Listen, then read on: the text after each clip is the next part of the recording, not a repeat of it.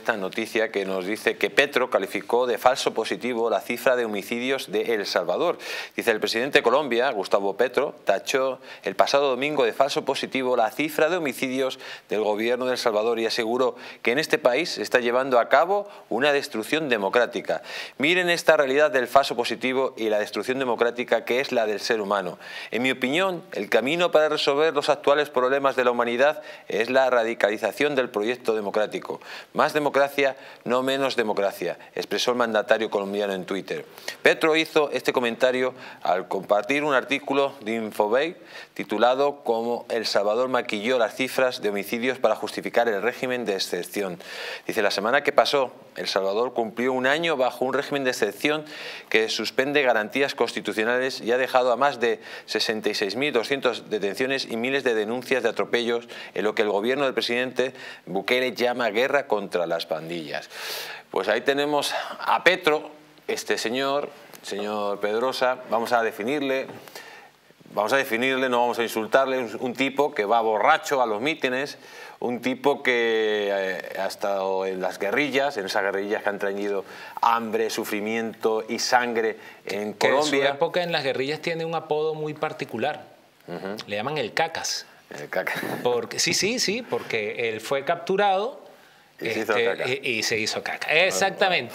Pues bueno, el CACAS pues, eh, se permite el lujo, después de, de llegar al poder, de la forma que ha llegado, como están llegando todos estos grupos marxistas, con esa forma de, de intervenir en las elecciones eh, y, y sobre todo poner en duda la democracia, ahora el tipo que, que sale y se pone en contra de Bukele, Bukele que ha acabado prácticamente con los pandilleros, Bukele que acaba con la delincuencia en El Salvador, un país que era un auténtico infierno, uno de los países más inseguros del mundo, y en vez de decir ole por Bukele, se pone a criticarle, cuando el modelo marxista-leninista de este tipo es un modelo, mm, bueno, digamos, muy parecido, muy parecido al desastre total, ¿no?